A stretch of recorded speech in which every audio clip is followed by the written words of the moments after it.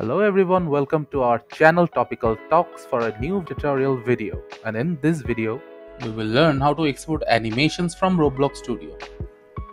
So firstly, we have to go to the Roblox Studio. So in the search panel, I'll type Roblox Studio. Then click on open.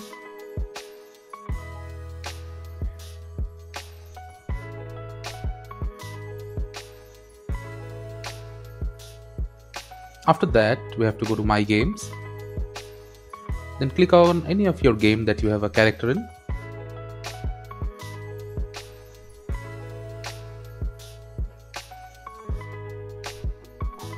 Let the game load properly first.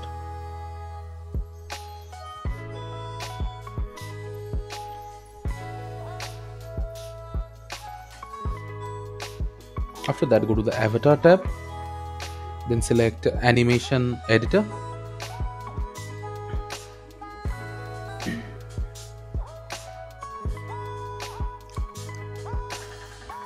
From here you have to select an object. So I'll select the character and name the clip to test clip. Now I can add various animations to the avatar in front of me so I'll start adding different animations now.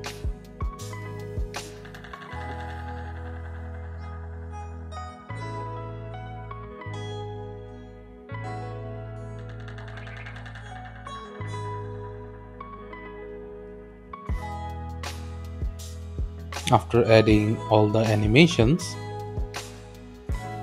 I'll have to check it out first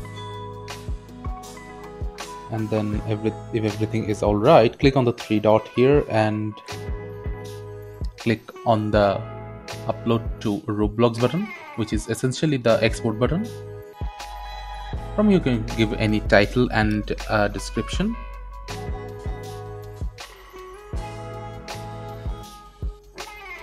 You can choose uh, delete local instances then click save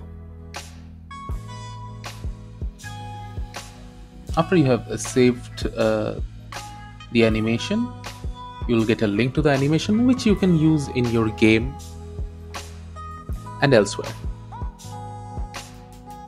Thank you again for watching the video. Make sure to like this video and subscribe to our channel and see you in the next video